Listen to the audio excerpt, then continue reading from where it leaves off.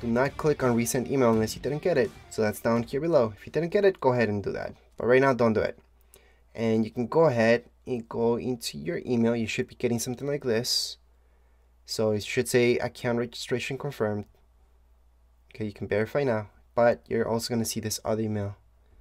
Verify that it's you. Same thing. We're going to click on the second one actually. Just click on verify. They're both from PlayStation. And right now it says my email's been verified. Click OK. And we are officially all done. We can just click on sign in on the top right hand corner of our screen. We're going to see sign in. And we're done. We're already signed in. I know it's kind of silly you have to put in sign in so many times. But on the top right hand corner, I do have to mention this. See this? This is you. So if you click on it, you're going to see this. Account settings, payment, everything right here. Subscription management, everything to do with your accounts right here. You can go into account settings just to make sure you're all okay.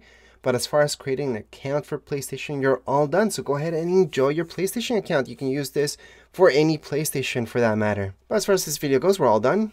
If you guys have any comments, questions, you guys can write down here in comments area. Don't forget to subscribe and like. Thank you.